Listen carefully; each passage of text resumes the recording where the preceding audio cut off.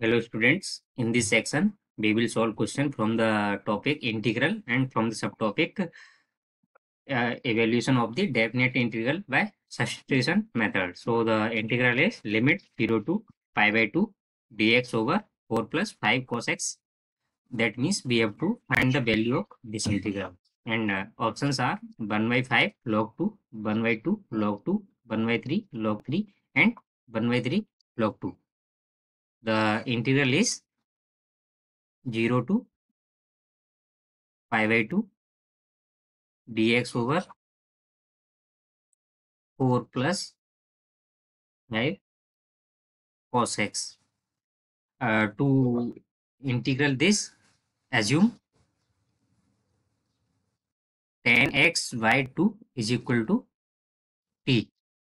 then cos x becomes 1 minus t square upon 1 plus t square, because since tan x by 2 in terms of cos x is plus minus square root 1 minus cos x 1 plus cos x. Uh, here we assume uh, tan x by 2 is equal to t. So in place of this put t and then square and then by cross multiplying find, uh, find the value of cos x in terms of t then you will get cos x is equal to this now since 10x by 2 is t then this becomes on taking uh, 10 inverse both side x by 2 is equal to 10 inverse t that means x equal to 2 times 10 inverse t and now for new limit at since at x equal to 0 now put x equal to 0 this will become 10 0 by 2 that is 10 0 is equal to 0 is equal to t and at x equal to pi by 2 at x equal to pi by 2 now put here 10 pi by 2 by 2 is equal to t so this will become 10 pi by 4 and value of 10 pi by 4 is 1 so t is equal to 1 so new limit will be 0 to 1 now so this integral in form of t will be 0 to 1 uh, and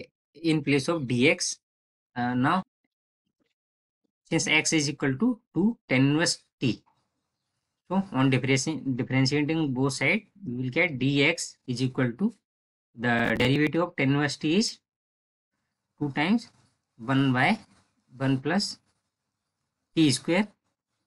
dt in place of dx write 2y 1 plus t square dt that is 2 dt by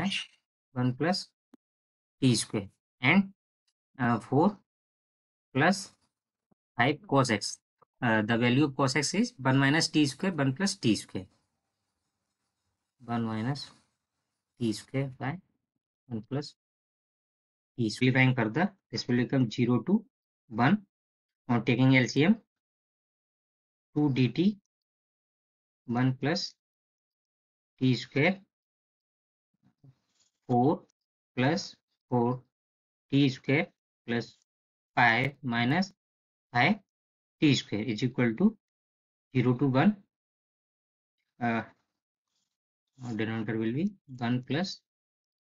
t square. So 1 plus t square to 1 plus t square is cancel out. The numerator will be 2 dt and denominator 4 plus 5 9 uh, 4t square minus 5t square is minus t square. Now this integral can also be written as limit 0 to 1. Now take it to outside dt by t square minus t square in place of 9 write 3 square since the formula um, for finding integral limit a to b dx by a square minus x square is equal to 1 by